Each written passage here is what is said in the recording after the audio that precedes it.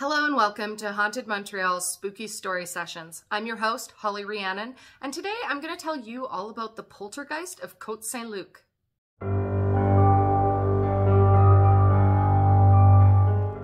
With over 450 documented ghost stories, Montreal is easily the most haunted city in Canada, if not all of North America.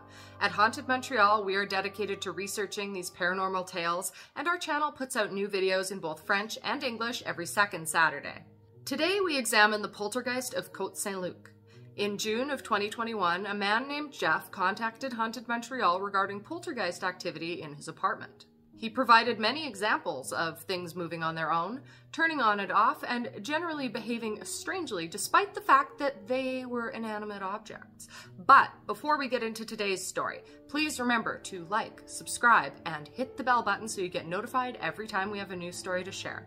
And if you're already subscribed, a big thank you and welcome back. I'm so happy to see you again.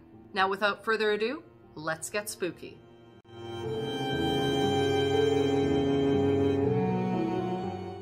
June of 2021, Jeff contacted Haunted Montreal regarding poltergeist activity in his apartment. He wrote, I am prepared to sign a sworn statement stating that all of the events described have actually happened. Jeff moved into his Côte Saint Luc apartment in 2009, which is located near Cavendish Mall. However, he did not experience any paranormal activity until a decade later.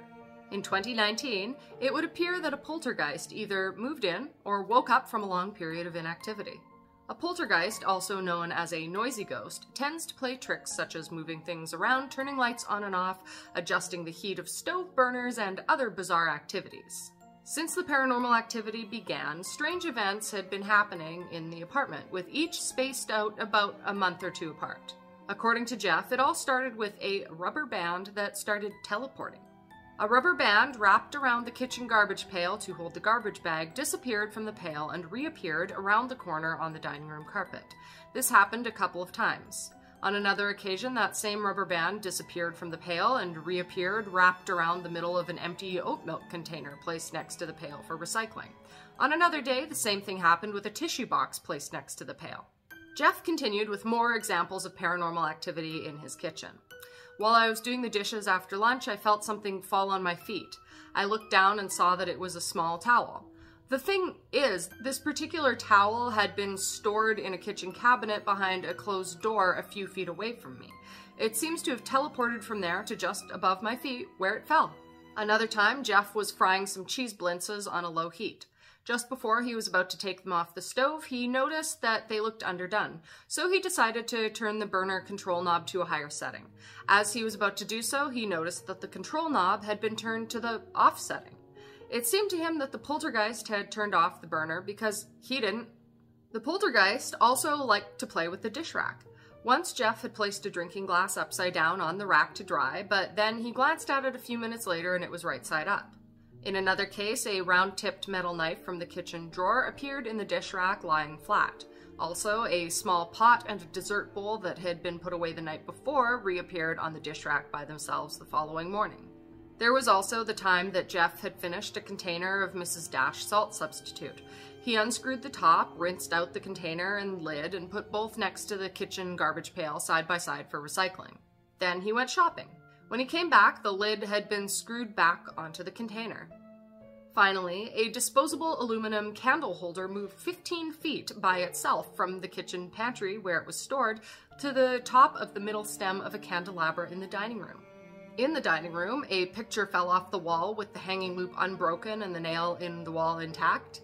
The dining room radio, not a clock radio, had also been known to turn itself on, and once during supper time, the lamp in the ceiling turned on by itself. The paranormal activity also happened in the bathroom.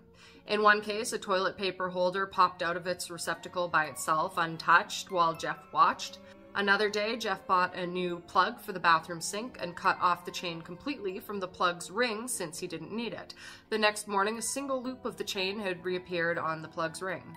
On another occasion, the bathroom medicine cabinet door slid open by itself while Jeff's back was turned. He heard the sliding sound before turning around to see it open. And Jeff provided many more examples of paranormal activity all over his apartment, from the living room and dining room to near his garbage chute, and he would continue to update Haunted Montreal as to the latest happenings.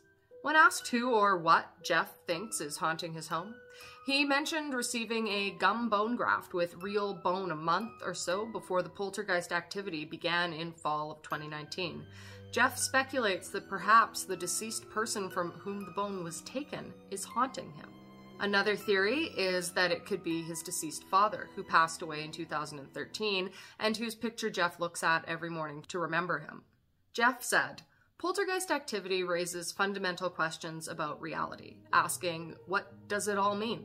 Jeff believes that the universe is not physical but mental, that reality consists only of our consciousness and we are having a collective dream. He feels that poltergeist activity could not occur in a physical universe, but it could occur in a mental universe where we are dreaming the whole thing up. As such, Jeff has no plans for an exorcism of the poltergeist that's plaguing his home. Indeed, he finds the whole experience fascinating.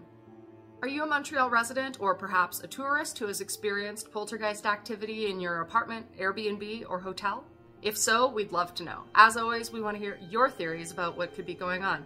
And hey, maybe we'll talk about your story in a future episode. Thank you so much for stopping by. If it's your first video, we do hope you'll stick around for the next one. We put out new videos in both French and English every second Saturday.